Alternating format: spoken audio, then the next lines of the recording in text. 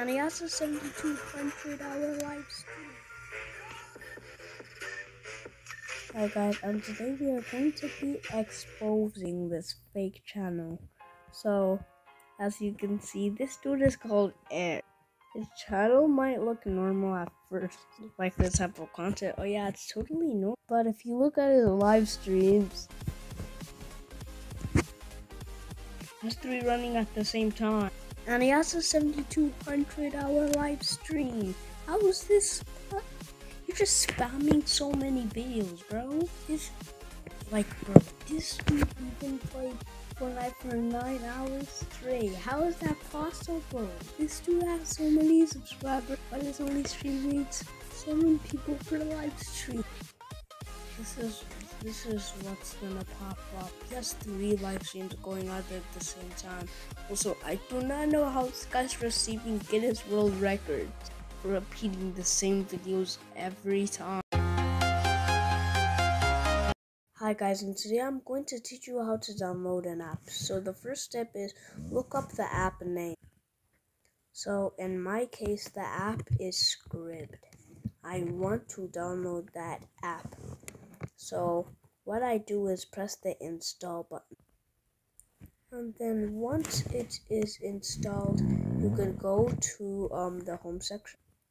And then you can click on your newly installed app.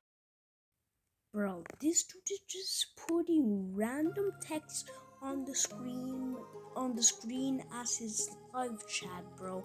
How bad is this dude trying to stream, bro? He's trying to make his streams look so legit, but instead he's just putting random people on the screen. He's even begging for subscribers by putting that text on the screen. How desperate is this guy for subscribers? I just watched that whole video and only for him to do nothing that he promised in the title.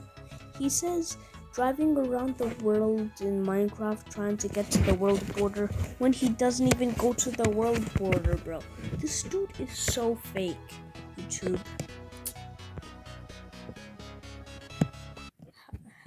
Please terminate this guy's channel, bro. His videos are so fake. Also, you know, you cannot be streaming three live streams at the same time. That is so fake. And I don't know if this dude has fake subscribers because, bro, this dude, he must be buying subscribers, bro. Like, we get subscribers legitimately, while this, I think this, well, I think this dude is literally just buying subscribers.